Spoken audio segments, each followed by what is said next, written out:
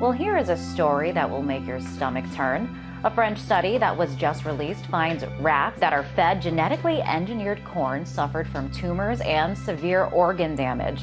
This is in the wake of a battle going down in California over big agro businesses like Monsanto and proponents of food labeling. Proposition 37 would require all food that contain genetically modified organisms, or GMOs as they're known, to be labeled. Such a move could have a major impact on what food people buy and eat.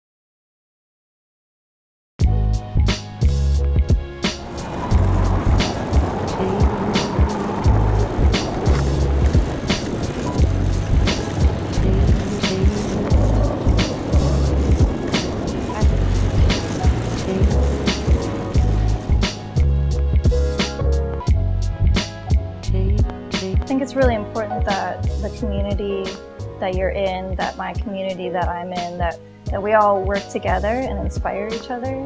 Because I know I could just sit in my in my room and think of political issues to work on and then go wheat paste them outside. But uh, the ideas really develop more if you can talk with your community and talk with your friends about them and then go have multiple people putting up posters on a, on a subject.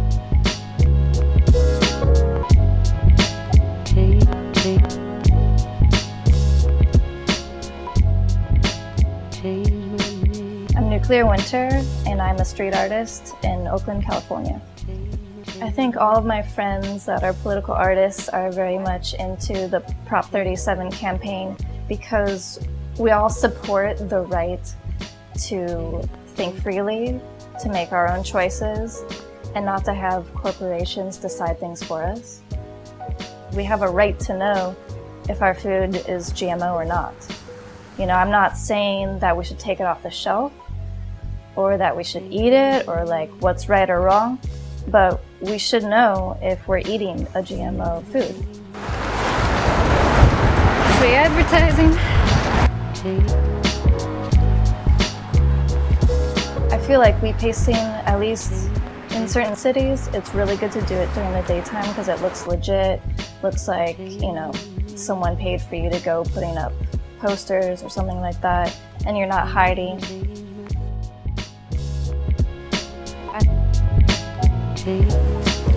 Yeah, so Oakland doesn't respond to vandalism, which is quite nice. But uh, if a cop runs into you wheat pasting, uh, it's not always the best to run away because they know you've done something wrong. If they confront you to say like, oh, this is just water-based, you know, I can peel it off right now and everything's fine. Like I'm not damaging the building and I'm just putting up a poster for people to read just like any other poster. You know, this is legit.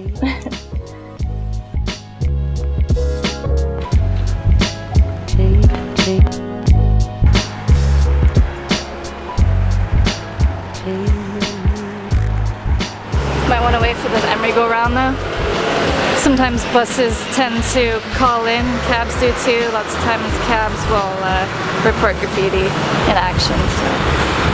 Luckily, I think we're in Oakland jurisdiction, so they're less likely to respond. I think more people should be putting up political artwork, um, posters, anything with a political message, because for the most part, I mean, pretty much 100%, it's the big corporations that have all the money that are supporting these props and these positions that are having a negative effect on the world.